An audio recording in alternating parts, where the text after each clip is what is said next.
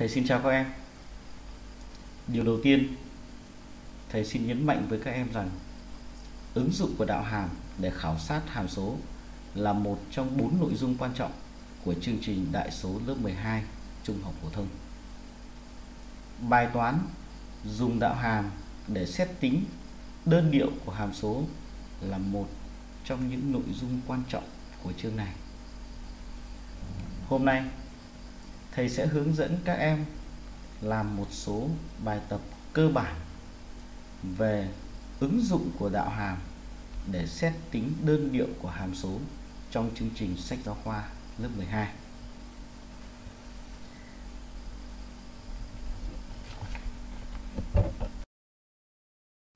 Nội dung bài học gồm 3 phần. Phần thứ nhất là tìm khoảng đồng biến nghịch biến của hàm số y bằng fx khi viết hàm số fx. Nội dung thứ hai là tìm khoảng đồng biến nghịch biến của hàm số khi viết bảng biến thiên hoặc đồ thị hàm số y bằng fx hoặc đồ thị hàm số y bằng f phẩy x. Nội dung thứ ba là tìm điều kiện của tham số để hàm số đồng biến, nghịch biến trên một tập D cho trước. Kiến thức trọng tâm nhất của phần này là nội dung định lý sau. Định lý cho hàm số y bằng fx có đạo hàm trên khoảng AB. Khi đó, nếu f phẩy x lớn hơn 0 với mọi x thuộc khoảng AB thì hàm số y bằng fx đồng biến trên khoảng AB. Nếu f x nhỏ hơn 0 với mọi x thuộc khoảng AB thì hàm số y bằng fx nghịch biến trên khoảng AB. Chúng ta có thể nhớ một cách máy móc là f x mà lớn hơn 0 thì hàm số đồng biến. f x nhỏ hơn 0 thì hàm số nghịch biến. Như vậy, điều quan trọng nhất để xét tính đồng biến nghịch biến của hàm số đó là phải xét dấu được đạo hàm của hàm số. Nhất là bài toán tìm khoảng đồng biến nghịch biến của hàm số y bằng fx khi biết hàm số fx.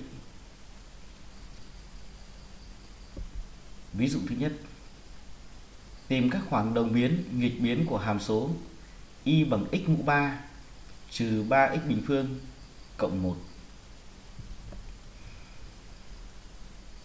Điều đầu tiên ta nhận thấy, bài toán không nói rõ là chúng ta xét tính đồng biến, nghịch biến của hàm số trên tập nào. Với những bài toán như vậy thì chúng ta mặc định xét tính đồng biến, nghịch biến của hàm số trên tập xác định của nó. Điểm thứ hai, chúng ta cần phải lưu ý ở bài này, hàm số người ta cho là hàm số đa thức bậc 3 cho nên là tập xác định của nó là R. Nói một cách tổng quát thì mọi hàm đa thức đều có tập xác định là R. Như vậy, bước đầu tiên chúng ta sẽ đi tìm tập xác định của hàm số. Tập xác định của hàm số này là R. Để tìm khoảng đồng biến, nghịch biến của hàm số, thì mục đích của chúng ta là chúng ta phải xét dấu được đạo hàm. Vì vậy, trước tiên chúng ta sẽ đi tính đạo hàm của hàm số. Ta có y phẩy bằng 3x bình phương trừ 6 nhân x. Để xét dấu được đạo hàm thì chúng ta đi tìm các điểm mà tại đó đạo hàm bằng không. Dễ thấy, y phẩy bằng không khi và chỉ khi x bằng 0 hoặc là x bằng 2. Tiếp theo, chúng ta sẽ đi lập bảng biến thiên của hàm số. Hàm số này có tập xác định là R. Cho nên bảng biến thiên x của chúng ta đi từ trừ vô cùng đến cộng vô cùng. Có hai điểm làm cho đạo hàm bằng không đó là tại x bằng 0 và x bằng 2 chúng ta sẽ sắp xếp các giá trị này theo thứ tự tăng dần. Theo thứ tự tăng dần. Y phẩy bằng 0 tại x bằng 0 và x bằng 2 để xét dấu y phẩy, chúng ta để ý, y phẩy là một tam thức bậc 2 có hệ số a, dương và có hai nghiệm phân biệt. Chúng ta xét dấu theo định lý về dấu của tam thức bậc 2 trong khoảng hai nghiệm trái dấu với hệ số a mang dấu âm. Ngoài khoảng hai nghiệm cùng dấu với hệ số a mang dấu dương. Theo định lý đã nêu ở trên, thì chúng ta nhận thấy trên cái khoảng từ trừ vô cùng đến không, y phẩy mang dấu dương. Vậy, hàm số đồng biến. Trên cái khoảng từ trừ vô, từ 0 đến 2 y phẩy mang dấu âm, hàm số nghịch biến. Trên khoảng từ 2 đến dương vô cùng, y phẩy mang dấu dương hàm số đồng biến như vậy, ta có thể thấy hàm số y bằng x mũ 3 trừ 3x bình phương cộng 1 có hai khoảng đồng biến là khoảng từ trừ vô cùng đến 0 và khoảng từ 2 đến dương vô cùng. Có một khoảng nghịch biến, đó là khoảng từ 0 đến 2. Như vậy, chúng ta có thể kết luận được tính đồng biến nghịch biến như sau. Hàm số đồng biến trên các khoảng từ trừ vô cùng đến không và từ 2 đến dương vô cùng. Nghịch biến trên các khoảng trên khoảng từ 0 đến 2. Tóm lại, thầy giáo nhắc lại, để tìm khoảng đồng biến nghịch biến của một hàm số, ta làm như sau. Bước 1, tìm tập xác định. Bước 2, tính đạo hàm và tìm các điểm tại đó đạo hàm bằng 0 hoặc những điểm đạo hàm không xác định mà hàm số xác định. Bước thứ ba, chúng ta lập bảng biến thiên của hàm số. Bước thứ tư, dựa vào cái định lý chúng ta kết luận về khoảng đồng biến nghịch biến với lưu ý rằng đạo hàm mang dấu dương trên khoảng nào thì hàm số đồng biến trên khoảng đó đạo hàm mang dấu âm trên khoảng nào thì hàm số nghịch biến trên khoảng đó chúng ta xét ví dụ thứ hai. Chúng ta xét ví dụ thứ hai. Tìm các khoảng đơn điệu của hàm số y bằng x mũ 4 trừ 2x bình phương. Điểm lưu ý đầu tiên chúng ta cần phải nhớ là tìm khoảng đơn điệu của hàm số cũng chính là tìm khoảng đồng biến, nghịch biến của hàm số. Trong trường hợp này là tìm khoảng đồng biến, nghịch biến của hàm số đa thức bậc 4 trùng phương, y bằng x mũ 4 trừ 2x bình phương. Như vậy, bước đầu tiên chúng ta sẽ làm tập xác định của hàm số. Hàm đa thức bậc 4 trùng phương có tập xác định là r. Vậy, tập xác định của hàm số là r. Bước thứ hai chúng ta đi tính đạo hàm của hàm số đạo hàm y phẩy bằng 4x mũ 3 trừ đi 4 nhân x để xét dấu được đạo hàm chúng ta đi tìm các điểm mà tại đó đạo hàm bằng 0 hoặc đạo hàm không xác định mà hàm số xác định. Trong trường hợp này, chúng ta chỉ cần tìm những điểm mà tại đó đạo hàm bằng 0 bởi vì đạo hàm y phẩy bằng 4x mũ 3 trừ 4x cũng là một đa thức cho nên có tập xác định là R. Vậy y phẩy bằng 0 tương đương với x bằng 0 và x bằng cộng trừ 1. Bước thứ ba, chúng ta đi lập bảng biến thiên của hàm số. Bảng biến thiên của hàm số y bằng x mũ 4 trừ 2x bình phương. Vì tập xác định của nó là r, cho nên x nhận các giá trị từ trừ vô cùng đến cộng vô cùng. Có 3 điểm tại đó đạo hàm y phẩy bằng 0 đó là x bằng trừ 1 x bằng 0 x bằng 1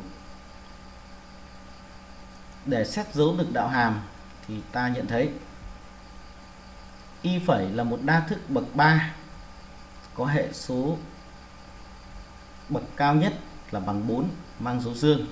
Chúng ta xét dấu theo quy tắc. Bên phải nhiệm lớn nhất, tức là với x lớn hơn 1 hay nói cách khác trên cái khoảng từ 1 đến dương vô cùng thì y phải cùng dấu với hệ số bậc cao nhất là 4x mũ 3 cho nên y phải mang dấu dương. Qua nghiệm x bằng 1, đây là một nghiệm đơn cho nên đổi dấu y phải mang dấu âm. Qua nghiệm x bằng 0, đây cũng là nghiệm đơn cho nên y phải đổi dấu y phải mang dấu dương. Qua nghiệm x bằng trừ 1, y phải tiếp tục đổi dấu mang dấu âm. Như vậy, nhìn vào bảng biến thiên ta nhận thấy trên khoảng từ trừ vô cùng đến trừ 1 y phải mang dấu âm hàm số nghịch biến trên khoảng từ trừ 1 đến 0 y phải mang dấu dương hàm số đồng biến trên khoảng từ 0 đến 1 y phải mang dấu âm, hàm số nghịch biến trên khoảng từ 1 đến dương vô cùng, y phải mang dấu dương, hàm số đồng biến nhìn một cách tổng thể thì ta nhận thấy hàm số y bằng x mũ 4 trừ 2x bình phương có hai khoảng đồng biến là khoảng từ trừ 1 đến 0 và khoảng từ 1 đến dương vô cùng. Có hai khoảng nghịch biến. Đó là khoảng từ trừ vô cùng đến trừ 1 và khoảng từ 0 đến 1. Vậy chúng ta có thể kết luận hàm số đồng biến trên các khoảng từ trừ 1 đến 0 và khoảng từ 1 đến dương vô cùng. Nghịch biến trên các khoảng từ trừ vô cùng đến trừ 1 và khoảng từ 0 1 chúng ta xét ví dụ thứ ba tìm các khoảng đồng biến, nghịch biến của hàm số. Y bằng trị tuyệt đối của x bình phương, trừ 2x trừ 3 ở bài tập này thì chúng ta nhận thấy hàm số này có chứa ẩn dưới dấu giá trị tuyệt đối. Cụ thể, biểu thức trong trị tuyệt đối là một tam thức bậc 2 x bình phương, trừ 2x trừ 3 bước 1 chúng ta đi tìm tập xác định của hàm số. Dễ thấy, hàm số y bằng trị tuyệt đối của x bình phương trừ 2x trừ 3 có tập xác định là r. Bước thứ hai, chúng ta đi tính đạo hàm của hàm số y bằng trị tuyệt đối của x bình phương trừ 2x trừ 3 sau đây, thầy giáo sẽ hướng dẫn các em một cách tính đạo hàm của hàm số chứa dấu giá trị tuyệt đối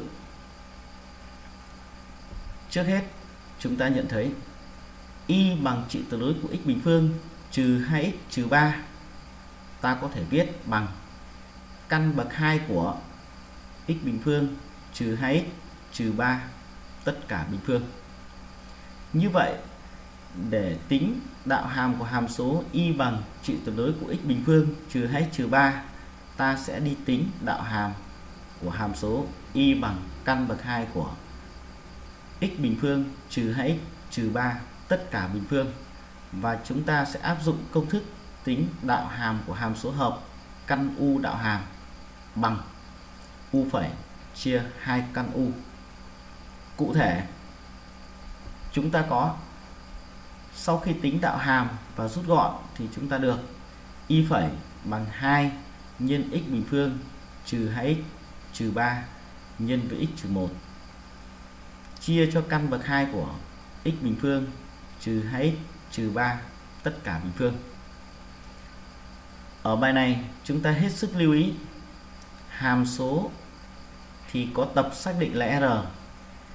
Nhưng đạo hàm y phẩy, đạo hàm y phẩy có chứa ẩn ở mẫu. Căn bậc 2 của x bình phương, trừ 2x trừ 3 tất cả bình phương. Cho nên y phẩy sẽ không xác định tại những điểm mà làm cho mẫu số bằng 0 tức là, y phẩy không xác định tại các điểm x bằng trừ 1 và x bằng dương 3 dễ thấy, y phẩy bằng 0 khi x bằng 1 xét về bản chất, thì việc tìm khoảng đồng biến, nghịch biến của hàm số, ta cũng không nhất thiết phải lập bảng biến thiên mà chúng ta chỉ cần xét dấu được y phẩy. Ví dụ này, chúng ta sẽ thay vì lập bảng biến thiên của hàm số, chúng ta đi lập bảng xét dấu của y phẩy như sau. Bảng xét dấu của y phẩy. Y phẩy không xác định tại trừ 1 và dương 3 y phẩy bằng 0 tại x bằng 1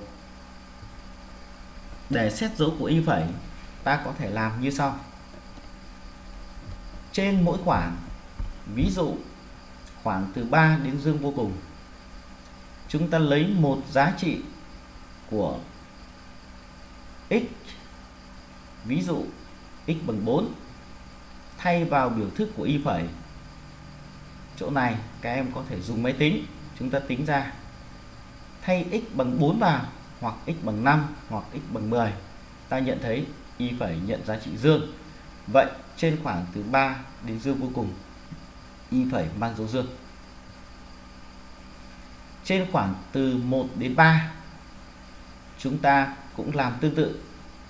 Lấy một giá trị nằm trong khoảng từ 1 đến 3 ví dụ x bằng 2 thay vào biểu thức của y phẩy chúng ta tính toán sẽ được nhận giá trị âm. Cho nên trên khoảng từ trừ 1 từ 1 đến 3 y phải nhận giá trị âm. Trên khoảng từ trừ 1 đến 1 ta lấy một giá trị, ví dụ x bằng 0 thay vào y phẩy ta nhận thấy, y phẩy nhận giá trị dương. Vậy trên khoảng trừ 1 đến 1 y phẩy mang dấu dương. Trên khoảng từ trừ vô cùng đến trừ 1 ta lấy một giá trị, ví dụ x bằng trừ 2 thay vào y phẩy, ta nhận thấy y phẩy nhận giá trị âm. Vậy trên khoảng từ trừ vô cùng đến trừ 1 y phẩy mang dấu âm. Như vậy, ở bài tập này thì chúng ta thấy y phẩy của chúng ta có hai khoảng mang dấu âm và hai khoảng mang dấu dương. Tương ứng với nó là hai khoảng hàm số đồng biến và hai khoảng hàm số nghịch biến vậy, chúng ta có thể kết luận hàm số đồng biến trên các khoảng từ trừ 1 đến 1 và khoảng từ 3 đến dương vô cùng. Hàm số nghịch biến trên các khoảng từ trừ vô cùng đến trừ 1 và khoảng từ 1 đến 3 ở ví dụ này, thầy giáo muốn nhắc các em rằng khi xét dấu y phẩy thì chúng ta tìm các điểm mà y phẩy bằng không, tại đó y phẩy bằng không. Và những điểm mà tại đó y phẩy không xác định mà hàm số xác định. Ví dụ như trong trường hợp này là điểm x bằng trừ 1 và x bằng 3 việc xét dấu y phẩy thì chúng ta có thể dùng máy tính.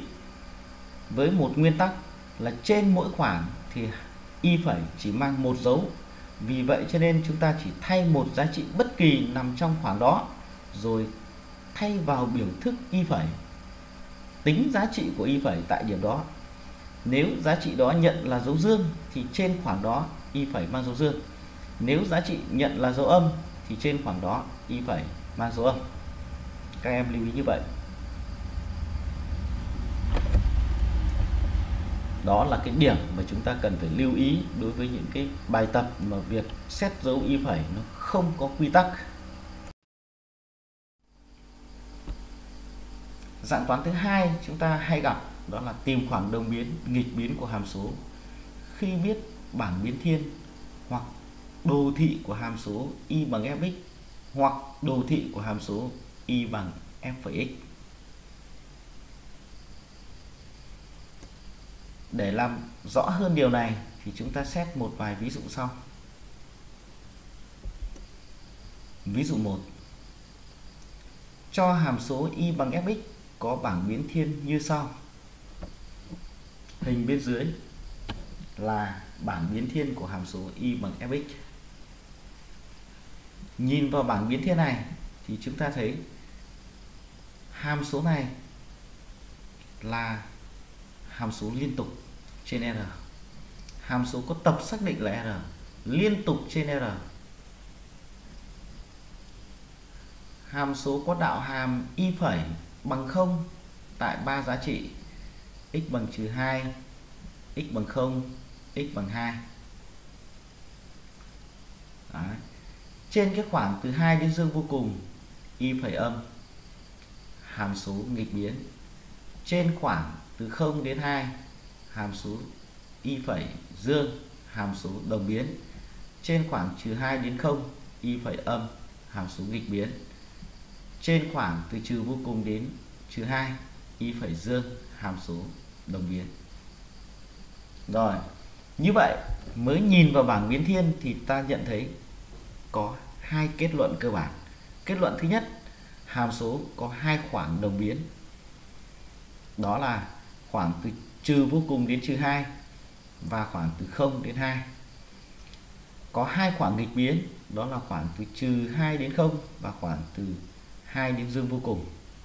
Bây giờ chúng ta xem yêu cầu của bài toán là gì. Câu hỏi, hàm số y bằng fx nghịch biến trên khoảng nào trong những khoảng dưới đây? A, khoảng từ trừ vô cùng đến 0 b khoảng từ trừ 2 đến cộng vô cùng. C khoảng từ trừ 2 đến 0 D khoảng từ 2 0 đến 2 chúng ta xem trọng tâm câu hỏi là gì? Câu hỏi là hàm số nghịch biến nghịch biến trên khoảng nào? Nghịch biến trên khoảng nào? Vậy thì hàm số nghịch biến trên khoảng nào thì khoảng đó y phẩy phải mang dấu âm quay trở lại trên cái hàng xét dấu của y phẩy tức là trên bảng biến thiên. Ta thấy y phẩy nhỏ hơn không? Trên khoảng trừ 2 đến 0 nhỏ hơn không trên khoảng trừ 2 đến 0 và khoảng từ 2 đến dương vô cùng. Đối chiếu với từng phương án khoảng trừ vô cùng đến 0 trừ vô cùng đến 0 à không đúng có cả đồng có cả dương cả âm. À, khoảng từ trừ 2 đến cộng vô cùng trừ 2 đến cộng vô cùng. À y phẩy có cả dấu âm, cả dấu dương, cả dấu âm. Như vậy, phương án B loại. Khoảng từ trừ 20 trừ 20 y phẩy mang dấu âm. Đúng rồi. Như vậy, phương án lựa chọn của chúng ta là phương án C. Hàm số sẽ nghịch biến trên khoảng từ trừ 2 đến 0 đương nhiên, chúng ta cũng nhận thấy trên khoảng 02 thì y phẩy mang dấu dương, hàm số đồng biến sẽ bị loại. Như vậy bài toán ở ví dụ 1 này, người ta cho chúng ta cái bảng biến thiên của hàm số f. Nhìn vào bảng biến thiên, chúng ta dễ dàng nhận được cái khoảng đồng biến, nghịch biến của hàm số. Từ đó, chúng ta có thể có phương án lựa chọn đối với những cái bài trắc nghiệm. Chúng ta sang ví dụ thứ hai. Chúng ta xét ví dụ 2 cho hàm số y bằng fx có đồ thị như hình vẽ bên khẳng định nào sau đây là đúng? A. Hàm số đồng biến trên khoảng trừ 1 0 và khoảng từ 1 đến dương vô cùng. B. Hàm số nghịch biến trên khoảng từ trừ 1 đến 0 c. Hàm số đồng biến trên khoảng từ trừ vô cùng đến 0 và khoảng từ 1 đến dương vô cùng. D. Hàm số nghịch biến trên khoảng từ trừ vô cùng đến trừ 1 và khoảng từ 1 đến dương vô cùng các em lưu ý, ở bài tập này, bài toán cho chúng ta đồ thị hàm số y bằng fx. Bước đầu tiên, thầy giáo hướng dẫn chúng ta cách đọc đồ thị của hàm số. Nhìn vào đồ thị của hàm số y bằng fx, ta nhận thấy đồ thị hàm số cắt trục tọa độ tại điểm, tại gốc tọa độ, tức là điểm O có tọa độ 00 tại x bằng trừ 1 thì y bằng trừ 1 tại x bằng 1 thì y bằng trừ 1 nhìn vào đồ thị, ta nhận thấy khi x tăng từ trừ vô cùng đến trừ 1 thì y giảm từ dương vô cùng xuống đến trừ 1 tính theo chiều từ trái qua phải thì đồ thị đi xuống theo chiều từ trái qua phải.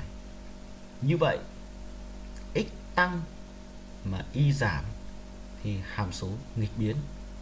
Vậy ta có thể kết luận trên khoảng từ trừ vô cùng đến trừ 1 hàm số nghịch biến.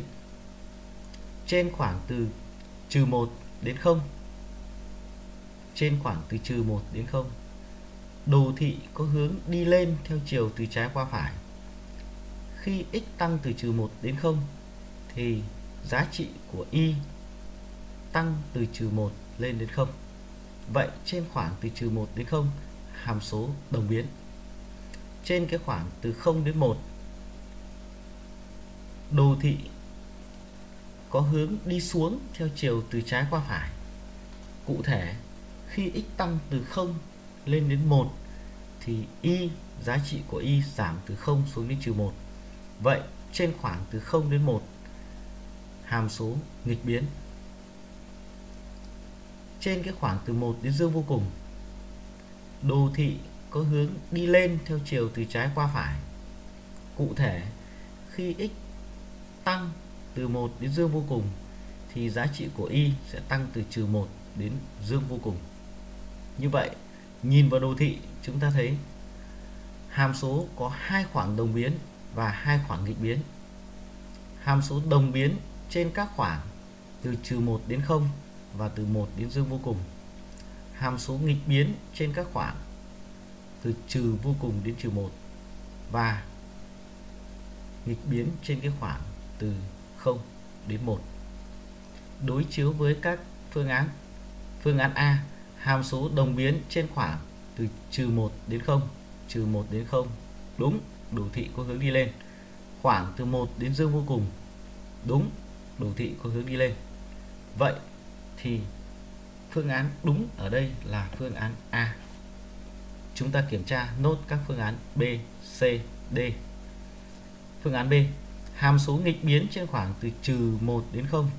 Ta nhận thấy trên khoảng trừ 1 đến 0, đồ thị có hướng đi lên theo chiều từ trái qua phải, hàm số đồng biến B sai.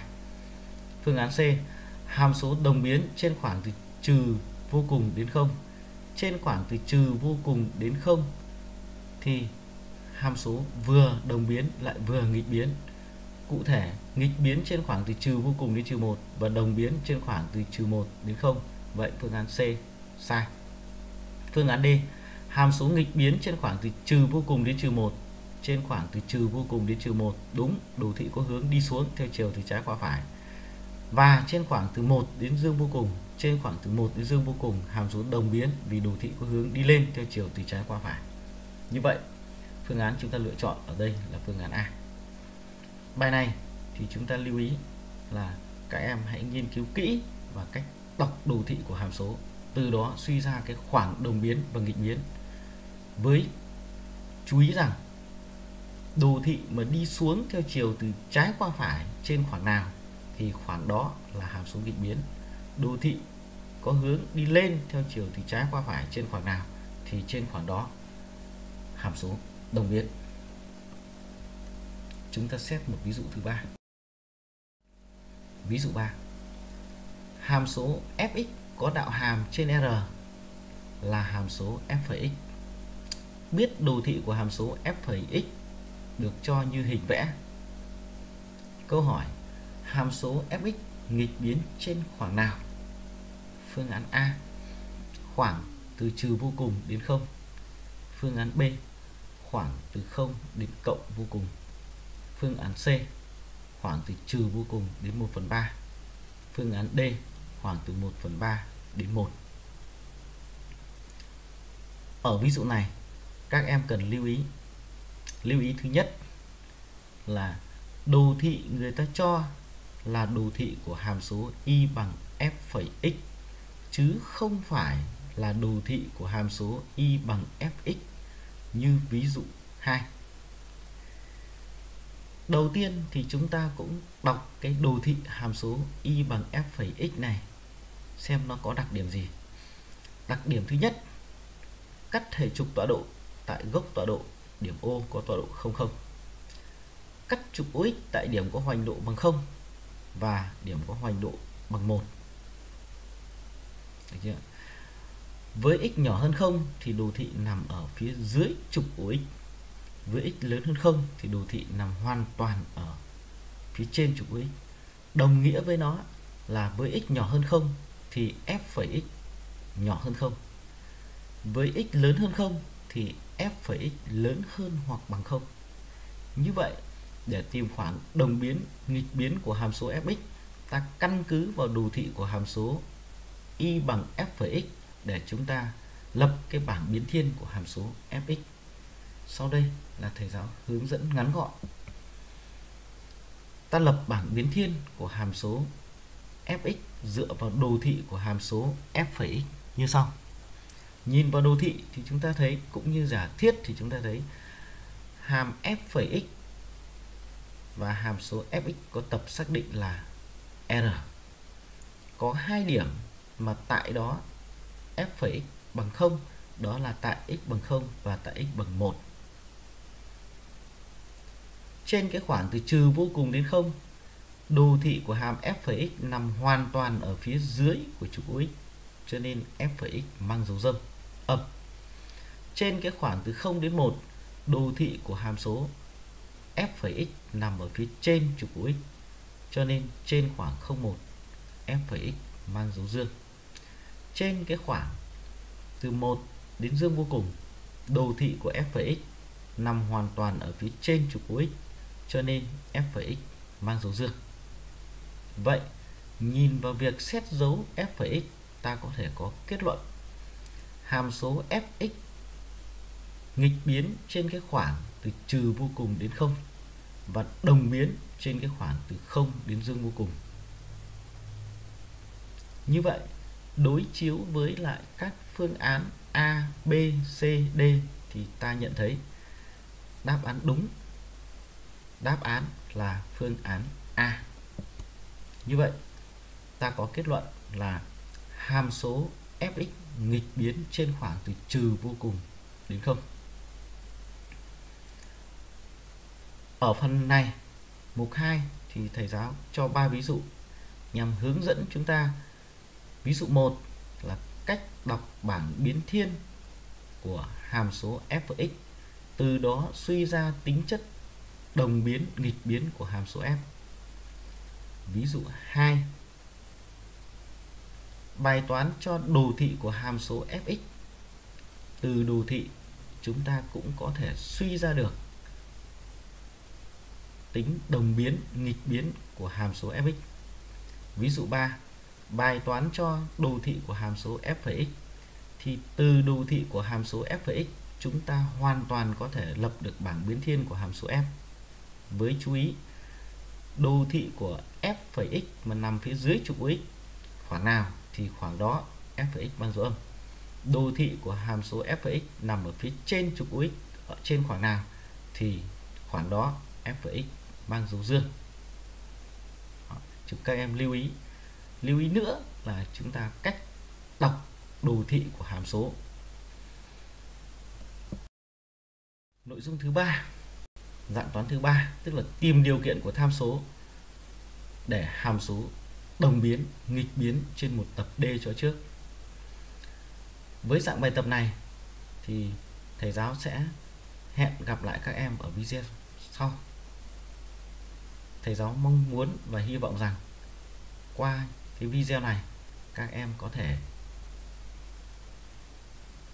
biết được cách giải một số dạng toán cơ bản về tìm khoảng đồng biến, nghịch biến của hàm số. Chúc các em học tập ngày càng tiến bộ. Xin chào các em.